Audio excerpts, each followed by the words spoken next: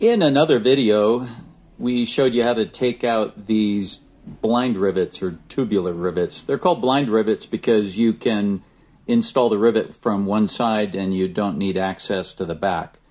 So we showed you how you can cut that, push the pin out and cut the tube off by cutting the head off with a chisel. You shear the head off and push the shaft or tube out the back. With these buck rivets, though, or solid rivets, you can't do that. It's just, they're really too hard to cut through easily with a chisel. The way these are installed, you need access to both sides of the panel. So they're called buck rivets because you use a bucking bar like you would use in auto body work. And the rivet goes through the hole and the back goes up against the bucking bar. And then you have an air chisel an air hammer like this with a bit that has a dimple head that goes over the head of the rivet and you hammer that flat. So the back side gets hammered flat and it clamps the, the pieces of material together. So the easiest way we found to remove those is to cut the back, grind the back off, and then pop this out from the inside. I'll show you that in a second. These are the holes in the driver's side of the bus where the rub rail was riveted with blind rivets onto the bus skin or onto the bus framing like over here. So what we do is grind the flat part of the interior, uh, the hammered or mashed or bucked part of the rivet off and then punch the rivet head out. And it leaves a pretty clean hole that we can then use for riveting the rub rail back into place. For doing this, I've got heavy gloves. These are actually insulated, so they're thicker than just regular leather gloves in case this wheel were to come apart or hit me. I've got my face shield. I know it's not permissible or safe, I guess, to do this, but I do remove the guard from this grinder because I need it off really, it, it hinders my access to a lot of these rivets in here. You can use four inch or five inch grinding wheels, but I find that when they get smaller like this, and I do save the smaller ones when they wear down and they get to about that big, I save those because it's handy for getting into some of these tighter spaces where you can't get in with a big full size grinding wheel. Instead of coming in flat like that, I think it's better to use the edge of the wheel. First off, that's the way it was designed to be used, so you don't keep making the grinding disc thinner and thinner. But second, that way you can kind of move back and forth, and because of the radius of the disc, you're taking off the head here, this flat part, the bucked part of the rivet, without gouging into the metal too much, and you can really control it very nicely. So let me show you what I do.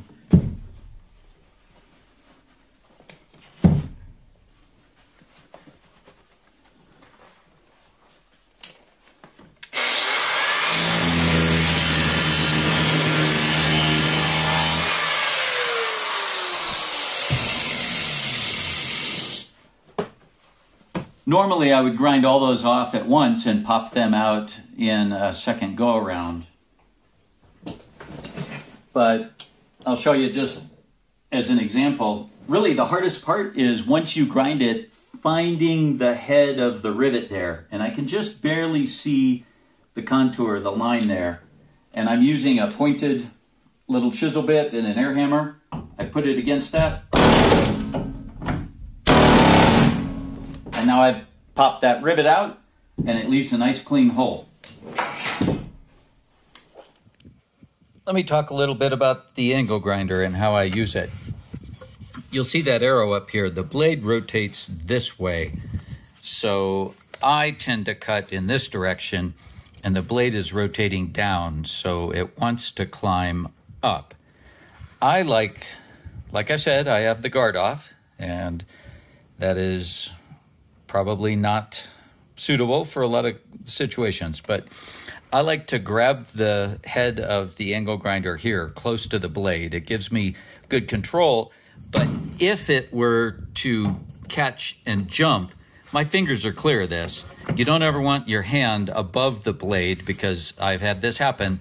If it catches and jumps up, it'll cut through your glove. So with my other hand, which is holding the camera, I'm holding this down here and I hold it in pretty close to my body. So I tend to sit down and I snug this right up into my belly and I hold the other end here and then I kind of rock it back and forth. If I'm cutting on one like this, I use a little bit of wrist action on this end just to rotate it up and down and cut the head of that off. And then vertically like this, I just kind of move it side to side a little bit.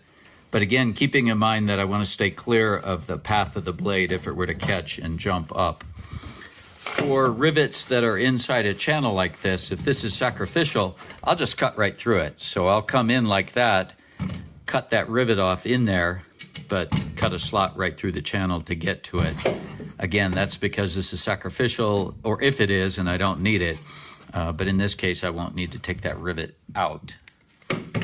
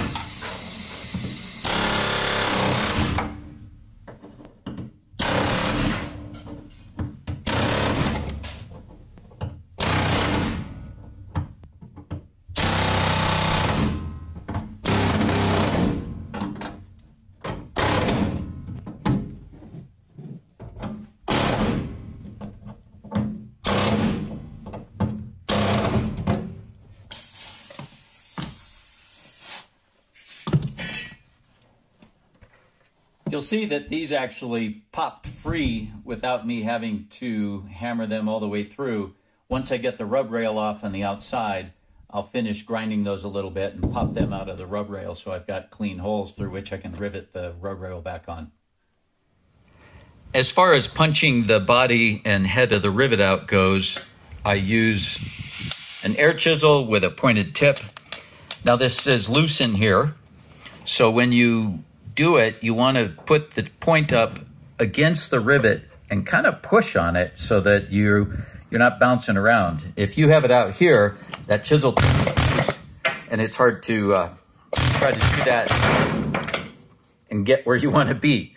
You'll notice that over here, sometimes you'll bounce off the the rivet, and that's okay. I dented the metal over here a little bit. I dented that over here a little bit not a big deal. Remember, like up here, this is going to be behind the lower part of the rub rail, and I will just tap that back flat, and this portion down here is all getting cut out. So put the chisel tip right up on the rivet, apply some pressure, and push it out.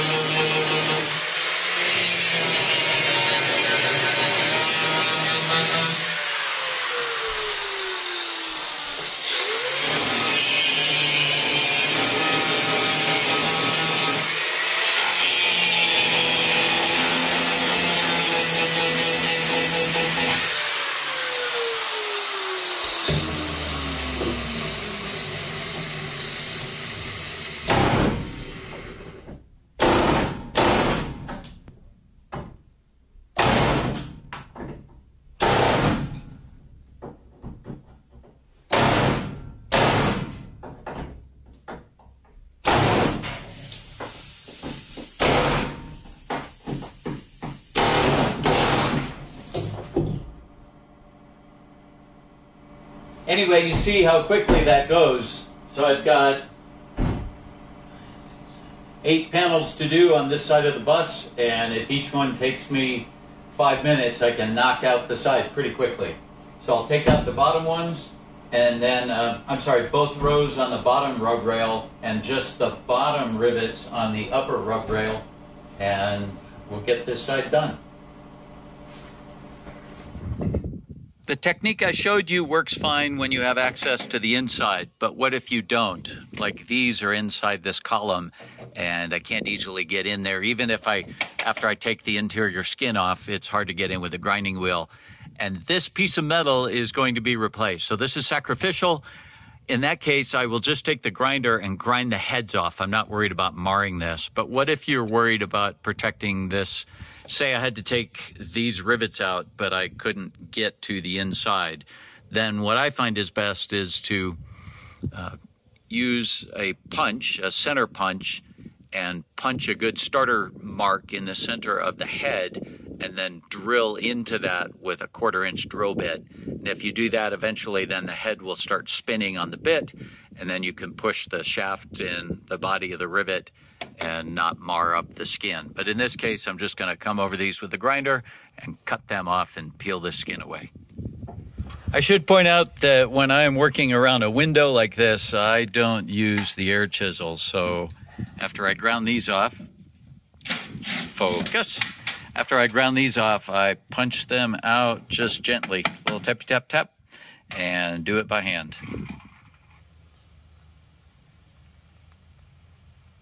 Only took a little bit of grinding and these popped out pretty well. And the Rivetopia, the never-ending line of rivets is done. That actually only took about an hour once we got access to the inside. So there you go. That's how you take out the solid buck rivets.